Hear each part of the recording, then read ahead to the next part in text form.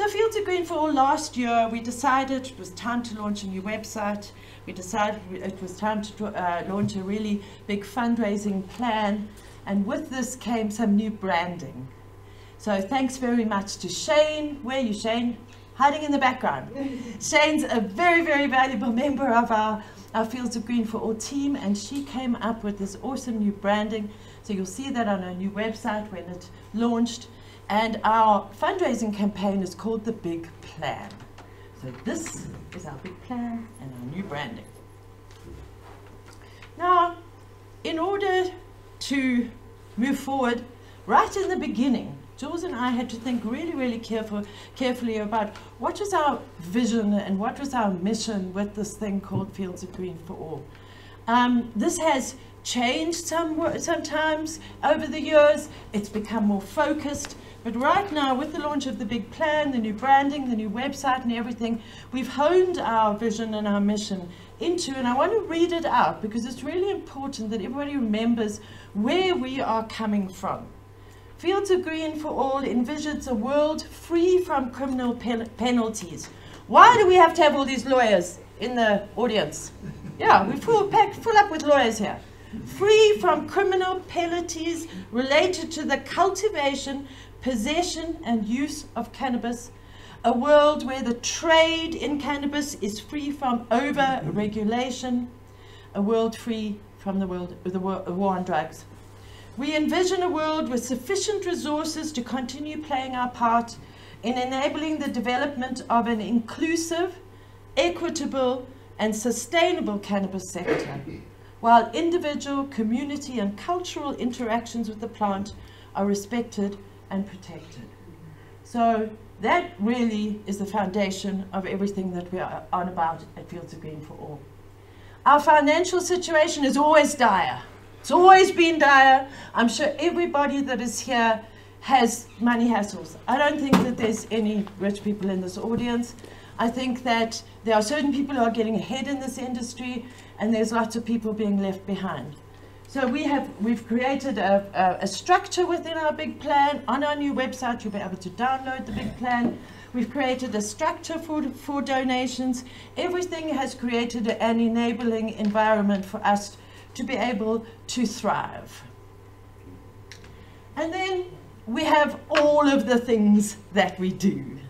And we've broken up our ongoing projects into strategic litigation, education and awareness, and international projects. Now, I don't want to go on for on and on and on and on. Um, and all of these, uh, all of the, we will discuss our strategic litigation, we'll discuss our education and awareness, but I just want to draw your attention to our international projects because this goes on in the background and has been such an incredible source of inspiration for us to keep going these last 14 years. If it wasn't for our worldwide cannabis community that we can get inspire, in, inspiration from and bring it home to add to our inspiration that we get from our South African cannabis industry, I don't think I would be able to stand in front of you today with the confidence that I have. Amy was saying yesterday, oh, I don't want to stand up and speak. And I said, well, it's nothing really. But when I look back to my first radio interview was with the chick from SANCA. I don't know if anybody ever remembers her. and it was on Debora Patta's show. And you know, she's got the charisma of an ironing board. And she was just so cold and hard. And there was this dreadful woman from SANCA. And I was so nervous sitting in that green room at, then it was still ETV News or whatever it was. And over the last 14 years, the only way that you can speak truth to power is if you know you're speaking the truth and you've got some experience on what that language is. What are those answers to those questions? You know, you can field any question now, and you know, we wear these badges, ask me anything about cannabis. If I can't answer something, I can put you in, in contact with somebody who can answer your questions. I can't answer technical growing questions, but ask me anything about drug policy. And it is through these international projects those ones on the, on the right-hand side column there, that I've managed to broaden my base. And I personally find it incredibly interesting and inspiring to have been studying drug policy for certainly for the last about 10 years. Jules was always the cannabis culture guy, stoner, hotbox show, you know, organize the events, the big D-days and everything. I've always been the person that's more interested in the mechanics that are happening uh, in the background. So for this reason, we applied back in 2016 for ECOSOC status, which means that we have consultative status at the United Nations Economic and Social Council. So Fields of Green for All, with that accreditation, we can participate at the United Nations, we can hold side events at the big United Nations events, we can ask questions, we can field replies, we can uh, take people to the big United Nations events with us, we get 10 tickets for, for CND, and it really, really has helped. We applied in 2016. We only got the accreditation in 2021. It took us five years to get that accreditation. Why?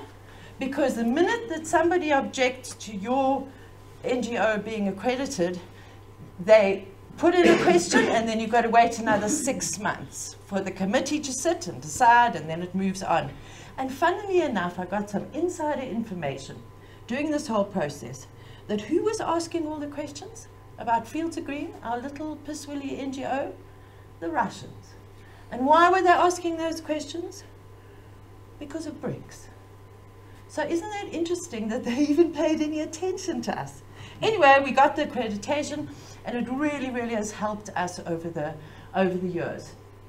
Our second most important part of our uh, international project is the amazing, amazing group of people who call themselves the Cannabis Embassy.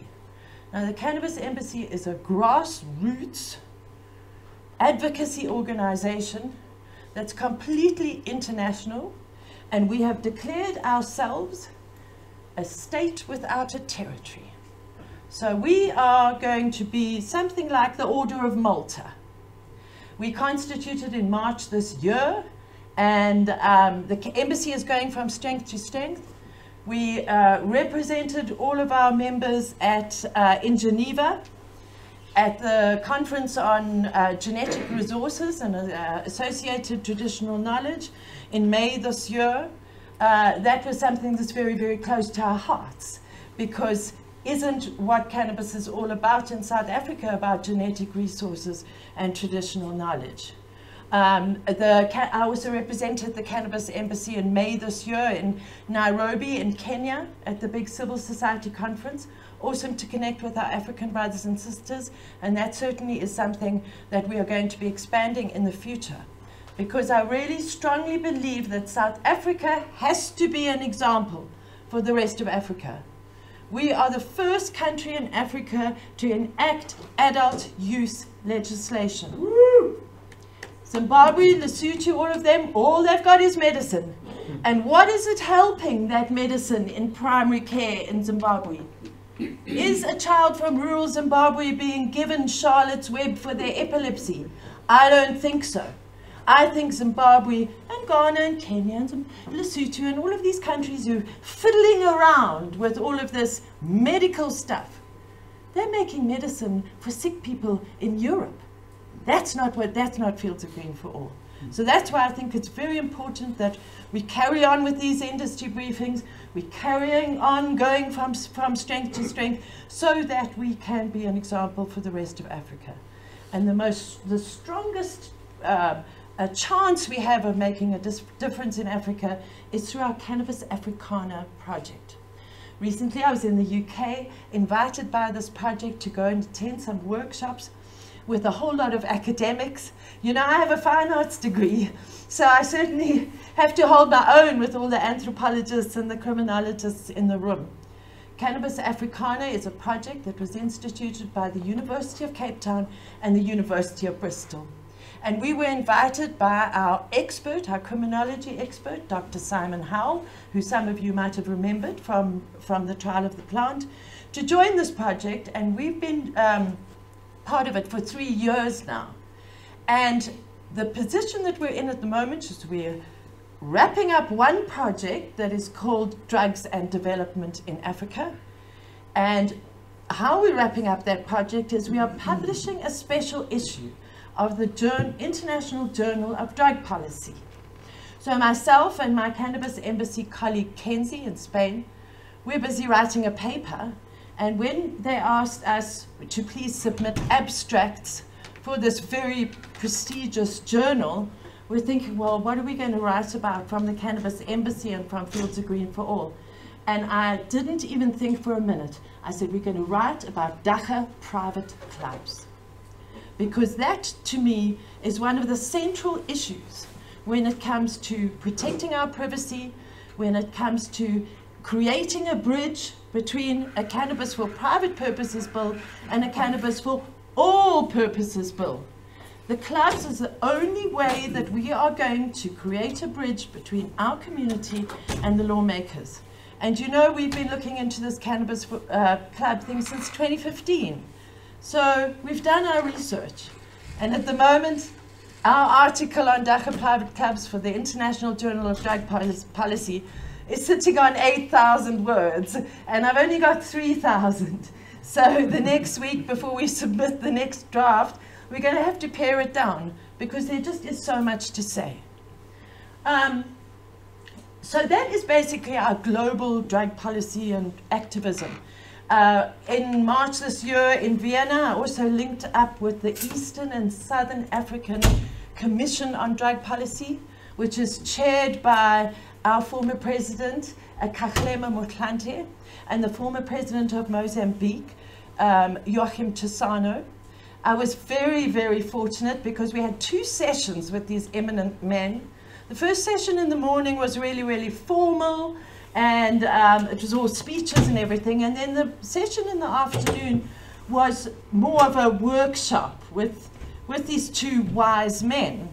And it just so happened that that workshop was on a Friday afternoon, at like four o'clock on a Friday afternoon. We just spent two days in high level engagements at the UN, and everybody was exhausted. So when I arrived at this workshop, there was only five people in the room. So I got to sit there with Kgalema Motlanthe and Joaquim Chissano and pick their brains and ask them whether they spoke dagga and introduce myself, tell my story. They told me their stories and it really was a very, very valuable experience. So this Eastern and Southern African Commission on Drug Policy is uh, another way that we can create a bridge between our uh, communities here on the ground and the lawmakers. Because in the words of ex-President Motlanthe, he says, they're not going to listen to you, but they're certainly going to listen to me. You know? He was the keynote speaker at African Drug Policy Week last October. And it was an incredibly moving speech. You'll see it. It's, it's um, on African Drug Policy Week's YouTube channel. Uh, and that keynote speech was certainly heartfelt because we need solutions to the end to the war on drugs, to the scourge of drugs, as the United Nations still like to call it. So this uh, commission uh, is certainly going to be valuable to us. Uh, also in the, in the beginning stages, an African civil society forum on drugs. And uh, the person who is chairing that forum, forum is uh, Maria Goretti Ane from Ghana, She's an eminent drug policy expert. She was with us in Bristol uh, last month, and she is putting together that African Civil Society Forum. So I've probably spoken too much about our international projects because I'm super excited about them and how they can how they can help us here.